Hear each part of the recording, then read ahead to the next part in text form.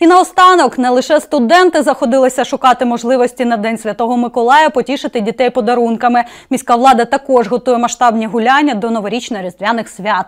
Попри введення воєнного стану, обмежень щодо масових заходів немає. Відтак місто планує святкування за розробленим планом. Згідно останнього, різноманітні концерти, фестивалі, конкурси та інші розважальні заходи в центрі міста і не тільки триватимуть ледь не місяць, а розпочнуться традиційно з відкриття головної ялинки у день покровителя нашого міста Святого Миколая 19 грудня.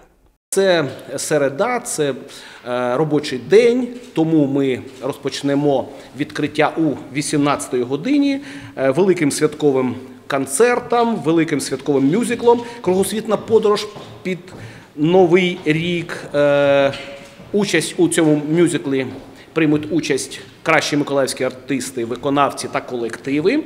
І потім цей мюзикл таке. е, перейде у вечірню концертну програму за участю гуртов Bad Sisters, е, Fire Show, гурту Radio Stars та Олександри Козакової. Тобто буде таке вечірнє е, велике свято.